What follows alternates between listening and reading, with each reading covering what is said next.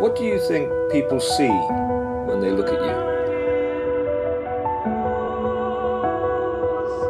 Look, you see our gold chains and our flashy cars.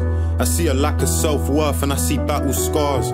He has to be with 20 man when he wears jewellery, and you see it as gangster, I see it as insecurity. Where I'm from, everybody wants to make it out. But nobody wants to see somebody make it out. It ain't about who came around, but more about who stayed around. Behind the scenes, they say God gave us eyes to see. You see this industry where everybody came up. I see a bag of weird rappers and some fake love, fake handshakes and fake spuds with fake comments. Where everybody covers costs but never pays homage. The scene turned on me, trying to ruin me. Where most would see a problem, I'm seeing an opportunity to drop a freestyle and kill them niggas that were booing me. I made my haters watch and put the screw inside of scrutiny beautifully.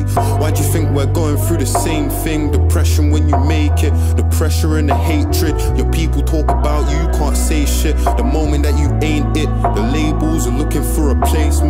Same shit, people start forgetting what you've done for them. Your fans are switching up on you, and they don't know how tough it gets.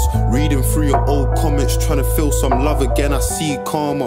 Go to work, but God schemes harder. I heard success can come quickly, but it leaves faster.